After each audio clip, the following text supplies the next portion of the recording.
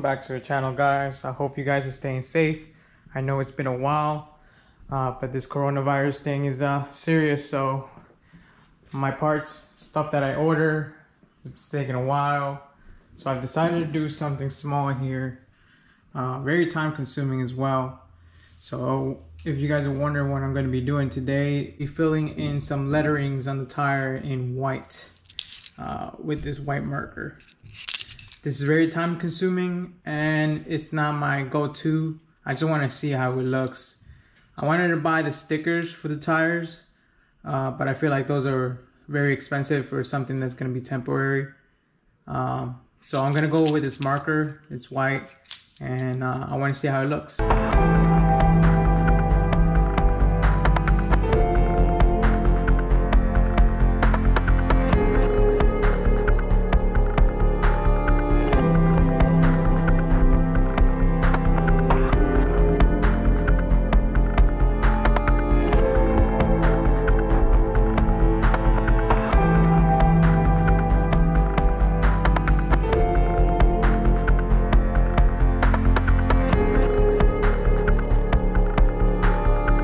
What do you guys think? Do you guys like the white? Uh, I honestly like the white.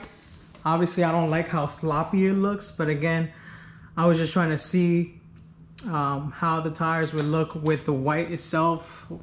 Uh, I think it really complements the Brembo brakes uh, because of the branding is in white. So I think it looks nice, especially from far away. You can't notice how sloppy it is. Uh, so I'm definitely gonna go with stickers, even though I said they're expensive. I think uh, it'll be worth it in the long run. But uh, I'm not sure what I should put on there in regards to wording. Should I go with like P0 on top and then I don't know what I should do on the bottom.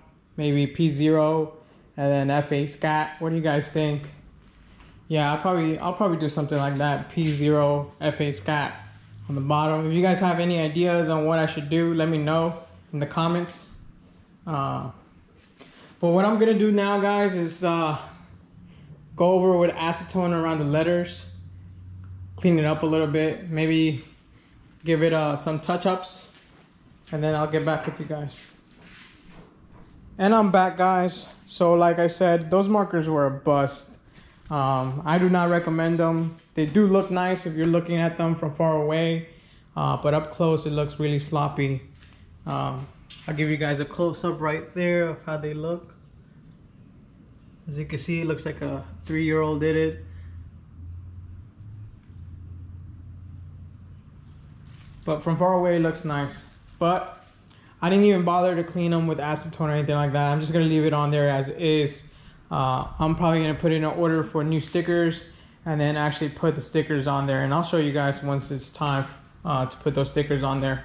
It looks nice, so I definitely like the look of it overall. But um, that is it for this video, guys. And I appreciate all the support.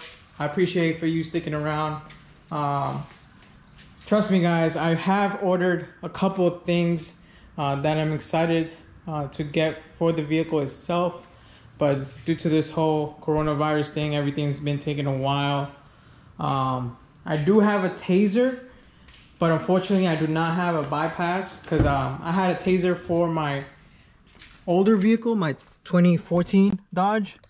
So the Tazer is right here, but I don't have the bypass since this is a 2020. You're gonna need a bypass uh, for the trunk of the vehicle. So once I get that, I don't think, um, I actually did put an order on it, but they're not available till the 15th of this month.